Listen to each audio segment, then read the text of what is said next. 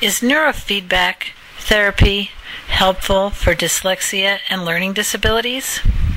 Imagine, if you will, a young child standing before their classmates, trembling inside, feeling stupid and deficient. They're struggling not only with the fact that they don't know the answer to the question or understand the concept being discussed, but with the inferior feelings that grow more intense each time the teacher puts their ignorance on public display.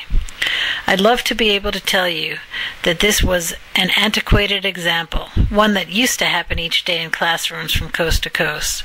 However, this is a pretty good description of what many bright young men and women face on a daily basis. Here's how Robert Benton put it. He said, I was dyslexic before anybody knew what dyslexia was. I was called slow. It's an awful feeling to think of yourself as slow. It's horrible. The brain of a child with learning disabilities is like a truck that is stuck in low gear and a driver that has forgotten that higher gears even exist. It is exasperating to trudge from point A to point B in a grindingly slow forward crawl, while other vehicles are effortlessly passing you by.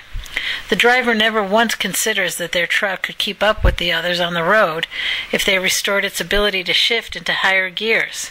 Instead, they beat themselves up for not being able to go as fast as the others, convinced they are already operating at their full potential. Neurofeedback is a tool that says, look, there are other gears that you can use. The first step is realizing that there are other gears or brain waves available to you.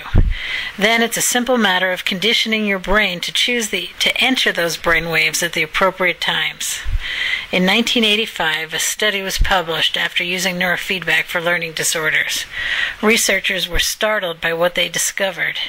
IQ scores in these children improved. There was an average increase of 19 points on the Wechsler full scale IQ test. 19 point improvement. In no way am I suggesting that all of those with learning disabilities will increase their IQ using neurofeedback. However, I'm not suggesting that they won't either.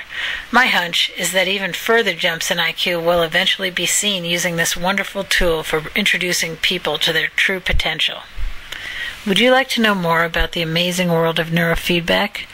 Go to neurofeedbackbook.com. My name is Dr. Clare Albright. I'm a psychologist and the author of a 168 page book called Neurofeedback Transforming Your Life with Brain Biofeedback. I can be reached at 949 454 0996.